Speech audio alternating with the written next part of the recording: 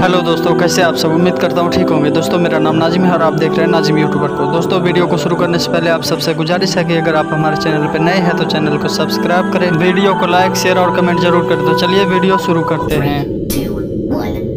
तो दोस्तों जैसा कि आप लोग जानते ही होंगे कि कितने लोग पैदल हज पे जा रहे हैं। पैदल तो जा ही रहे थे अब साइकिल से भी हज पे जा रहे हैं। तो ऐसे ही हमारे एक बुज़ुर्ग है उड़ीसा का रहने वाले शेख वसीम साहब वो भी साइकिल से हज पे जा रहे हैं। तो इसका वीडियो देखिए वीडियो के बाद बात करते हैं। बोलिए और क्या पूछते बोलिए। बोलिए। कहाँ जा रहे हो? अब तो बोर्ड में देख रहे हैं जा रहा हूँ हज के उम्र के लिए जा रहा हूँ। और साइकिल से मेरा इरादा हुआ है। इंशाल्लाह जो है जो है ये पाकिस्तान ईरान इराक होते हुए सऊदी पहुँचना है। सब कितने दिन का सफ़र सफ़र तीन से साढ़े तीन महीने का सफ़र है इंशाल्लाह।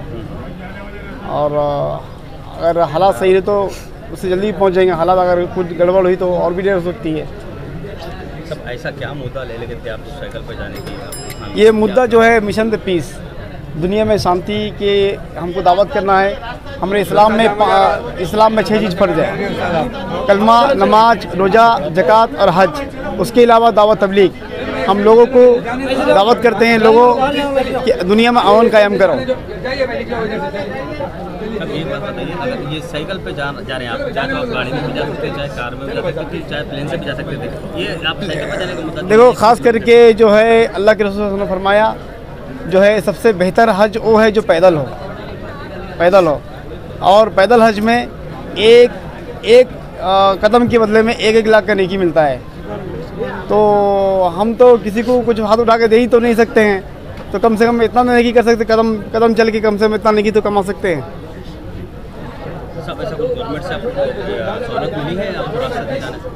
गवर्नमेंट से कोई सहूलत नहीं मिली है लेकिन अल्हम्दुलिल्लाह जो है मेरे पास गवर्नमेंट का सारा परमिशन सब बना हुआ है। सारा मेरा मेरा मैं हमारे उड़ीसा का जो है एसपी का कमिश्नर पुलिस का जो परमिशन लिया हुआ हूँ थाने से रिपोर्ट लिया हूँ कि मैं आदमी सही आदमी हूँ कोई मेरा कोई मेरे कोई कोई प्रॉब्लम नहीं है। और जो है मेरा सारा डॉक्यूमेंट संग में लिया हुआ हूँ। और मेरा पूरा सब बना हुआ है अलहमदिल्ला आप कहाँ के रहने वाले हैं। उड़ीसा कटक से तो यहाँ से जाने का आप क्यों लेके बैठे उड़ीसा से भी जा सकते थे ना? देखो ये हमारा हिंदुस्तान है। हम हिंदुस्तानी हैं। हम कहीं भी भी- कहीं से भी निकल सकते हैं। बता रहा हूँ सुनिए सुन लीजिए उड़ीसा से भी मैं निकला था मैं। उड़ीसा से मैं निकला था मैं। उड़ीसा से 2011 में निकला था पासपोर्ट भी किए वापस आया फिर 2013 में निकला वापस भी वापस उसमें भी बॉर्डर में कुछ मसला था वापस आया।